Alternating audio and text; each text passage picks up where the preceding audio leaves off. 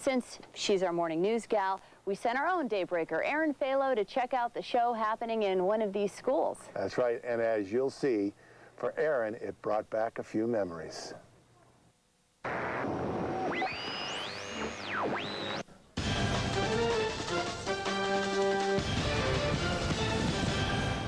This class is like no other here at Bow High. Once the bell rings, these students get to work.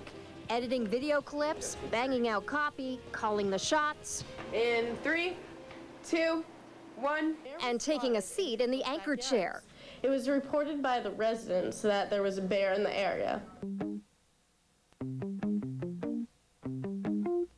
By rotating from job to job, these students are getting a crash course in putting on a live morning show, which is then broadcast to the entire school. They learn about the time pressure and the time crunch and how to deal with the pressure of, of the deadline.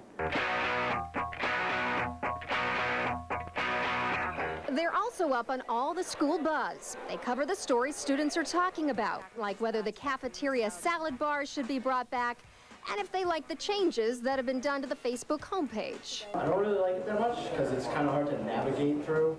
The one responsible for getting today's show on the air is producer Sean McLean. You feel the pressure when you do the Oh, yeah.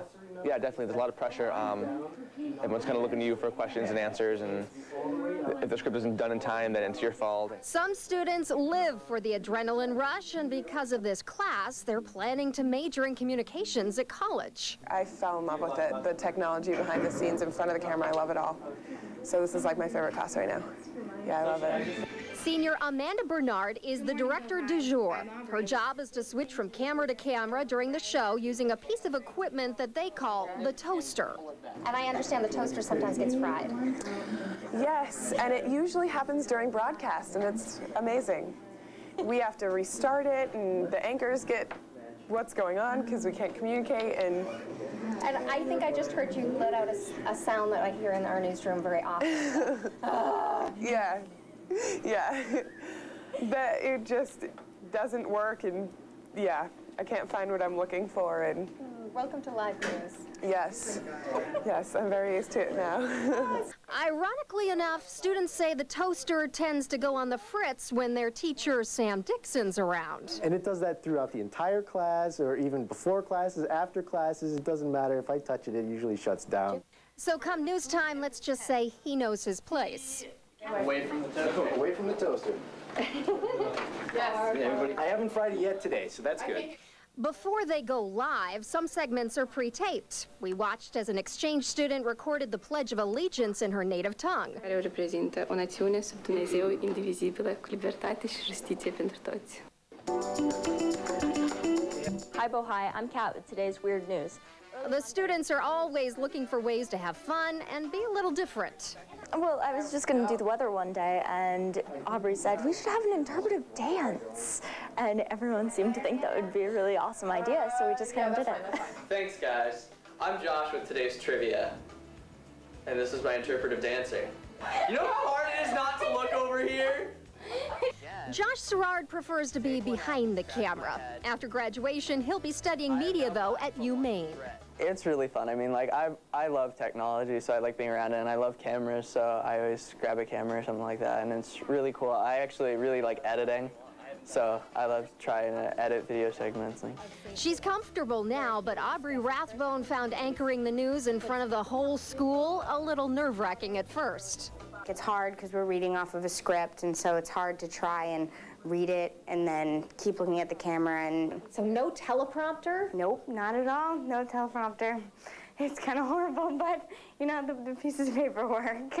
Pump up the bass! Being in this class brought me back to my days at another BHS.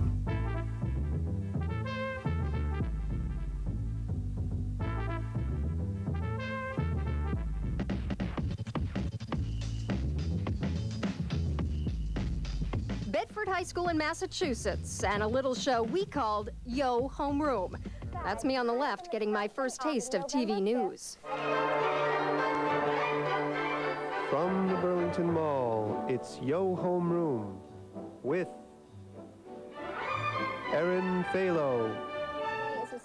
Look at that hair. It's the last week of school before Christmas vacation, so everyone here at Telemedia has decided to do a few special things, including shooting today's show from the Burlington Mall. So Okay, enough embarrassment. Back into the vault.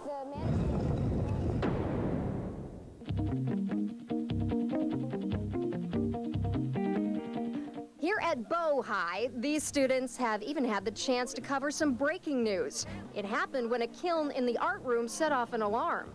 Hi, this is Aubrey Rathbone from the Morning News, and I'm investigating what happened this morning with the fire drill. Once back in the school, these news hounds were able to turn around the story by airtime. The kids are like, can we go get cameras and get in? Like, yes, grab cameras, go. They had managed to get all their interviews, import it into the computer, and edit it up within a half an hour, and they did a fantastic job.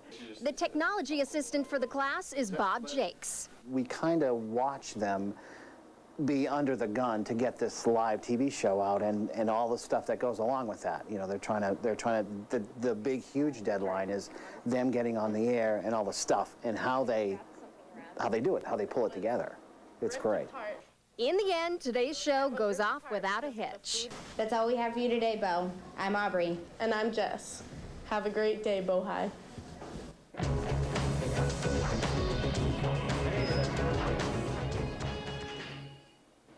Nice. Look at that. Here we go. And it didn't crash. Yay, good job! It's not like any other class you take here. It's completely different. It's, you know, homework is minimum and it, it's a different kind of work. It's not paperwork. It's not writing up essays. It's, I don't know how to describe it. It's, it's different. It's fun. Because of the because of the great